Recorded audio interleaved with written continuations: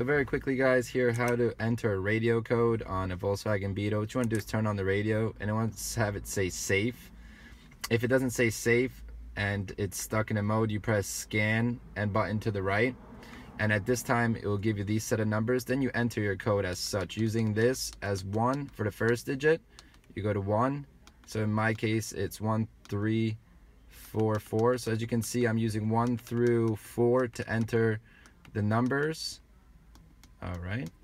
As such. And then what you want to do after you enter these numbers is press seek to the right till you hear an audible click. And we have music. Great.